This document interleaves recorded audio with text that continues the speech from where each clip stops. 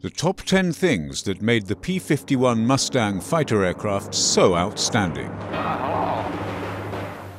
Gee, looks like I'm back in the movies again, doesn't it? The Mustang is the Jimmy Stewart of airplanes.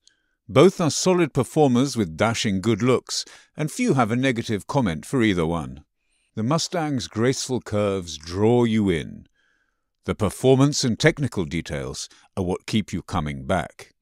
It's the best of both worlds a stunning piece of art and a technical marvel. And while the art claim is uncontestable, let's dive a little deeper into the technicals. 10. The wing is the thing. Almost any discussion about the Mustang starts with its wing, but the real advantage of this wing might be different from what you've heard. Because of its mid war development timing, the Mustang was the first aircraft to implement a new aerodynamic theory called laminar flow. This effect, contrasted to turbulent flow, is an elusive condition that is possible with the right wing shaping and attention to detail. All wings have a small amount of laminar flow at their leading edges. A laminar flow design extends this region to a majority of the wing surface and can reduce the wing drag by an incredible 25 to 50 percent. Unfortunately, the practical application usually falls short of the theoretical promise. Manufacturing flaws, battle damage, hangar rash, and bug guts alter the surface of a wing, and the laminar flow benefits fade away when the shape is not pristine. However, the Mustang wing has another aerodynamic trick up its sleeve. By complete serendipity, the shaping of a laminar flow airfoil is also very good for low drag at high speeds due to Mach effects. The airflow over a wing accelerates even faster than the airspeed of the aircraft. At high enough aircraft speed, this local wing airflow will exceed the speed of sound. When this happens, drag increases to really high levels, really fast. To keep accelerating, you need a lot more engine power. The shaping of the Mustang wing lessened this airflow acceleration and allowed it to fly a little faster before this drag started its dramatic rise. In modern terminology, the Mustang had a great transonic wing. This effect was not fully understood in the early 1940s, but the science quickly followed up. Nearly all jet aircraft that followed, and a few piston engine fighters, capitalized on this idea. A final note about wing design relates to its size. Going fast and far generally favours a small wing. Manoeuvring and turning hard favours a large wing. If you look at the wing loading, which is aircraft weight divided by its wing area, of various contemporary fighters, you'll find that the Mustang was in the middle of the pack. This was the perfect choice given its balanced mission of dogfighting performance at long range.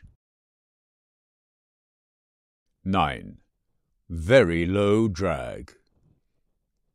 In addition to the great wing design, the Mustang also had a remarkably low overall drag. The performance of the airplane is the summation of many little things and a close attention to detail. A close inspection of the Mustang will show its remarkable cleanliness. There are virtually no bumps, bulges, or inlet scoops anywhere on the plane. Most other planes of the era have a multitude of these to address various cooling or system details. The landing gear is a great example. The main gear is fully enclosed by gear doors that fit well. The tailwheel is also retractable, unlike most aircraft of this era. Cooling drag is another area of excellence for the Mustang. Many sources will talk about the belly radiator system producing thrust by adding heat energy to the airflow the test data shows that very little positive thrust is ever produced.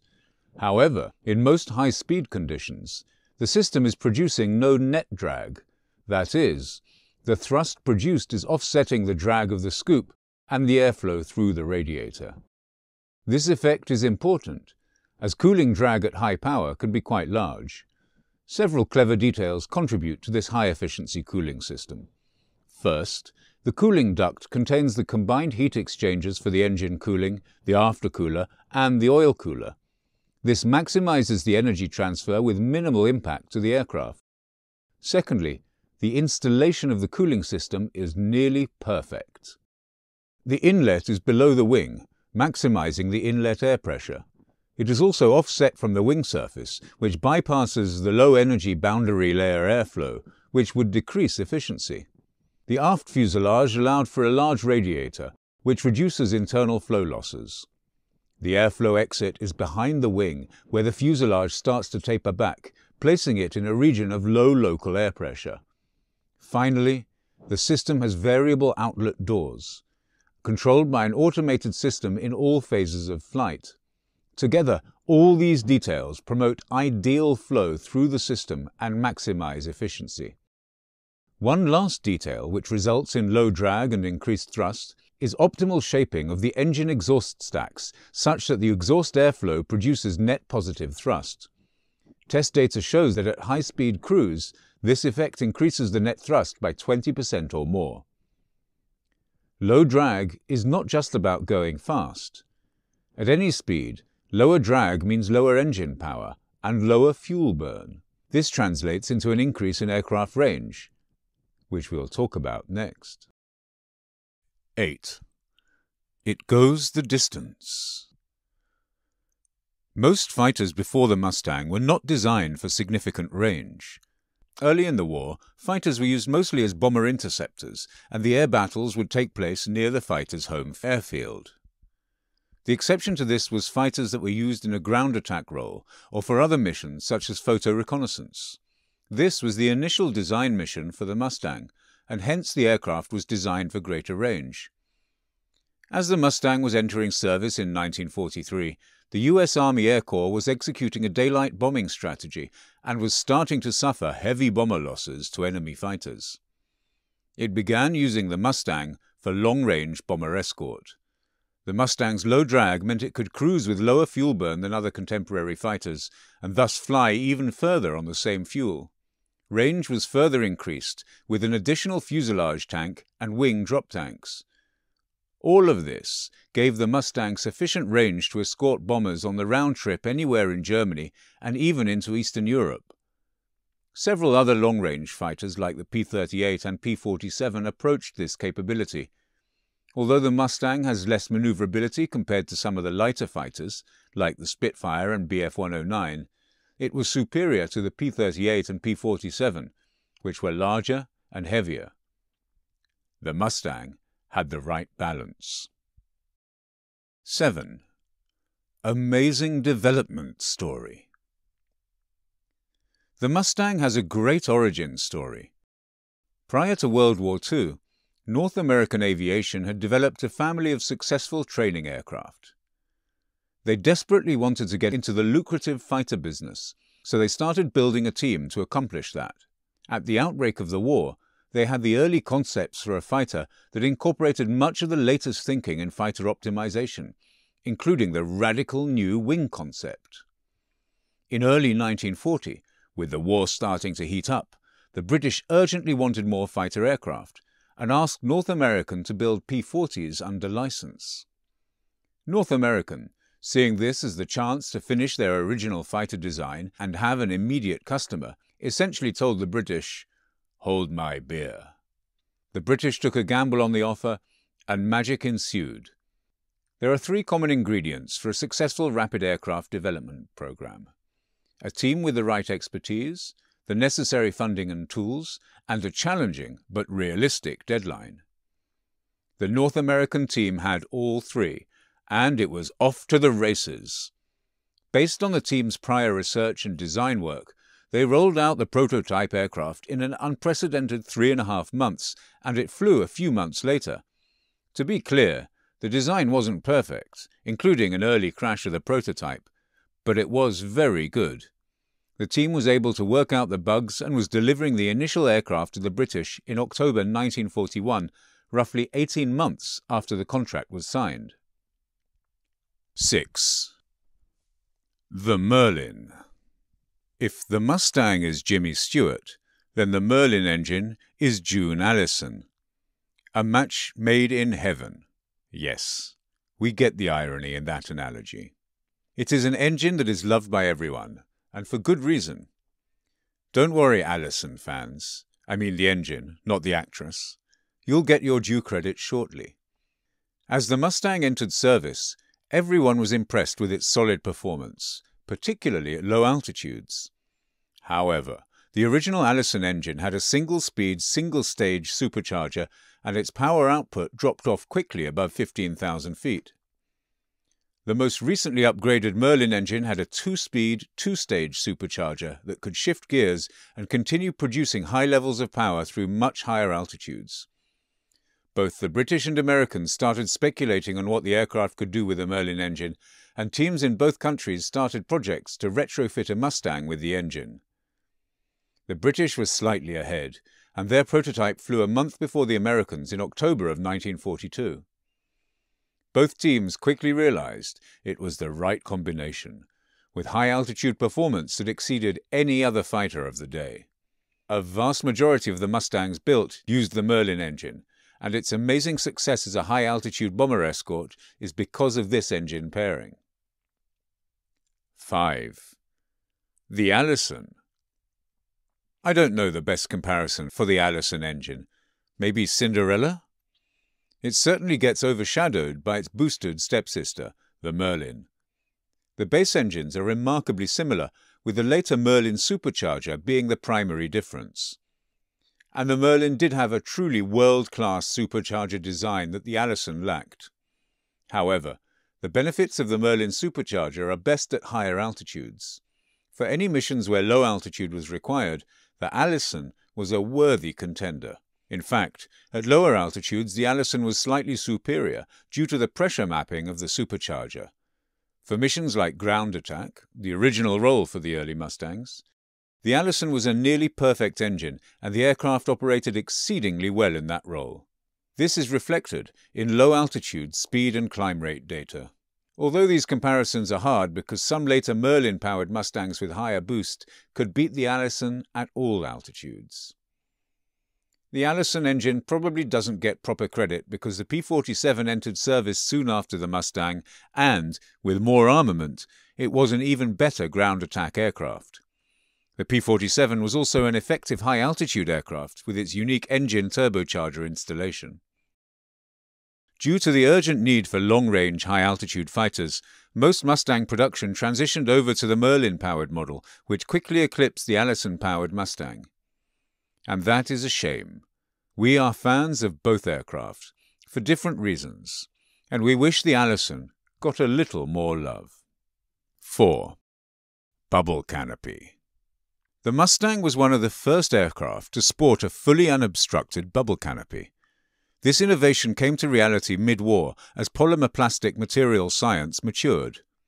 One of the first iterations of this technology pioneered on the Spitfire and was called the Malcolm hood. This was a hybrid solution that replaced the center canopy section with a slight bubble perspex canopy that contained no obstructions. This gave better visibility both laterally and vertically. But since the basic airframe was not modified, the aft view still suffered. This Malcolm canopy was retrofitted to B and C model Mustangs soon after the Spitfire. Both aircraft were going through a rapid evolutionary cycle, and the next version of each aircraft the Spitfire Mark 8 and the P-51D, took this idea a step further. In both cases, the canopy was enlarged and the aft fuselage lowered to give an unobstructed view in nearly all directions. This idea did increase aircraft drag slightly. Test data shows an increase of roughly 2%. But that is a small trade for better pilot situational awareness. This canopy design became the norm for nearly all fighter aircraft that came afterwards and remains the standard today. The clean bubble canopy strongly contributed the P-51D's modern look as compared to the razorback fuselage and glazed canopy design of previous fighters. 3. Designed for mass production. Often engineering marvels are the equivalent of a Swiss watch. They might exhibit extreme performance, but they give up practicality in the process. They are either prohibitively expensive, difficult to maintain, or they compromise usability to maximize their primary performance metric.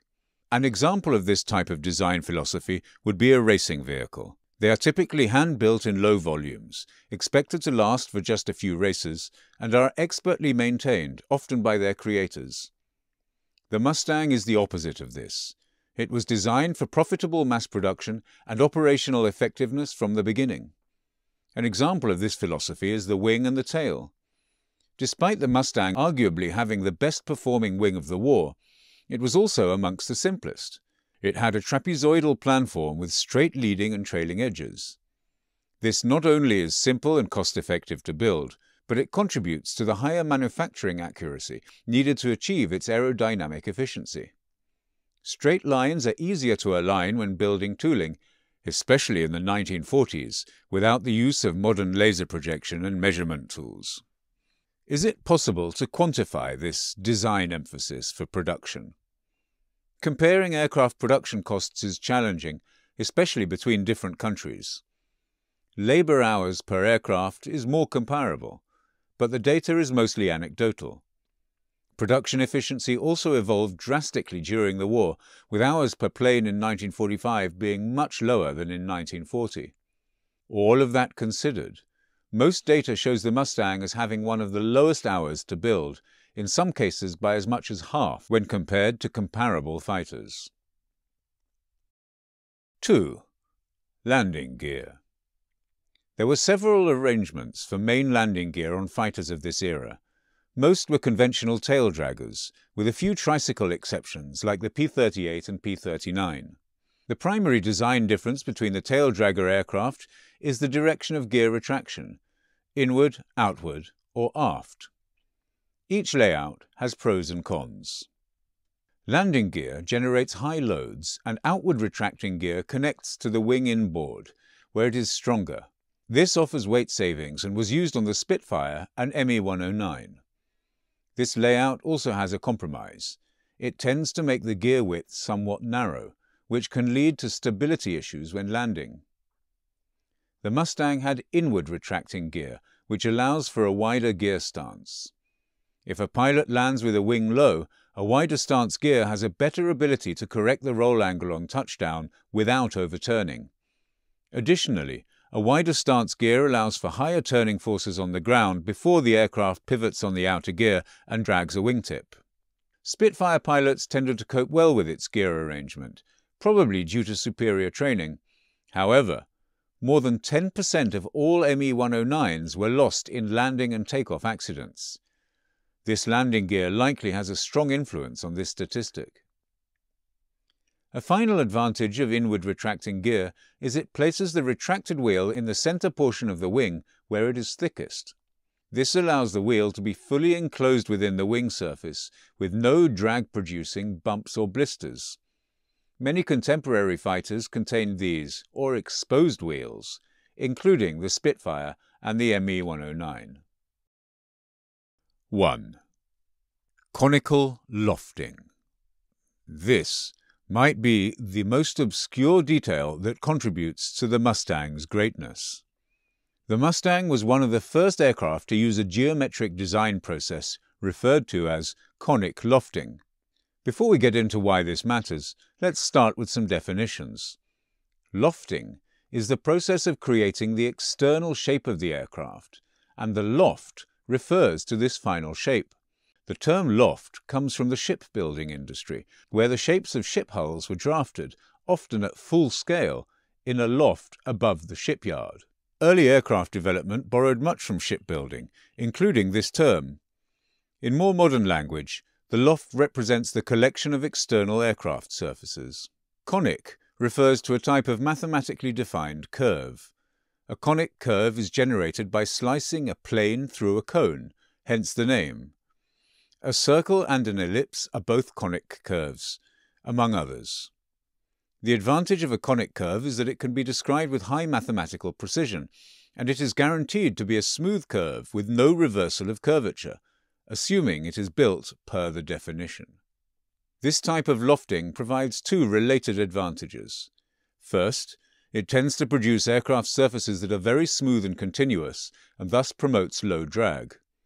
Secondly, these surfaces tend to look really pleasing to the eye. If you look at a Mustang fuselage closely, you can see evidence of this. The forward cowling is an exceptionally well-designed shape in both cross-section and the way the shapes flow from spinner to canopy. The aft fuselage between the canopy and tail is similar. Conic lofting is a minor detail on a practical level, but it is one more feature that puts the Mustang on a different level. As a footnote, modern lofts are generated by computer-aided design, CAD programs, and conic lofting is one of several techniques still implemented today. Bonus. It just looks freaking amazing. There are exceptions to the endlessly repeated adage, noting the correlation between good looks and good handling qualities. For instance, the American Century Series fighters were stunning, yet most had questionable handling characteristics. In the other direction, some would say that the two aircraft named Thunderbolt have questionable looks, yet no one would question their incredible effectiveness as combat aircraft. Few would argue that the Mustang is questionable in either its style or its performance. In summary, the Mustang stood out in its performance, its practicality, and its design. It was the right airplane at the right time. The incorporation of the best ideas from several decades of fighter evolution allowed it to become the pinnacle of piston engine fighter design. Very few of its individual features are exceptional by themselves, but the Mustang brings them together in a very balanced and effective way. And it doesn't hurt that the designers had an eye for good aesthetic design as well. This formula describes most of the greatest aircraft ever built. Hi there, Al Murray here, and it gives me great pleasure to join you on the internet right now via the form of video message to tell you all about the Hush Kit Book of Warplanes, Volume 3. That's right. Volume 1, they said it couldn't be done. Volume 2, they said, surely that's enough. But here we are on a third volume. A third volume of warplanes from all over the world, the history, the quirks, the men that flew them, the women that flew them, and of course, the P-47 Thunderbolt, the greatest aircraft ever built.